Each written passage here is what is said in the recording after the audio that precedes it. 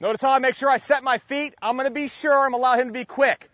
If I have to take a, just a little bit of a delay to ensure that I field the ball properly and give him a good feed, that's better than the alternative of my trying to be quick and deliver a throw that's over here or into the runner where he can't be quick because he's off balance.